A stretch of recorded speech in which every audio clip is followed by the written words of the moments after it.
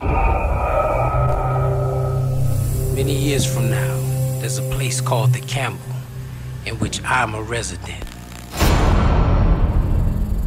A desperate place that consists of notorious trading posts. And these posts trade everything from organs that you play to organs that you don't.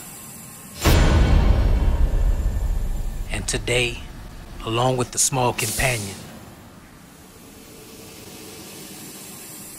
I'm visiting one.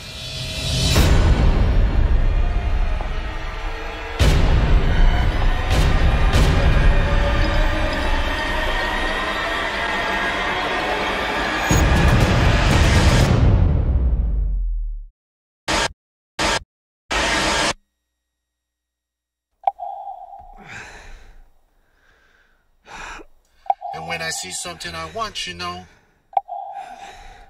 ten times out of ten, I end up with it.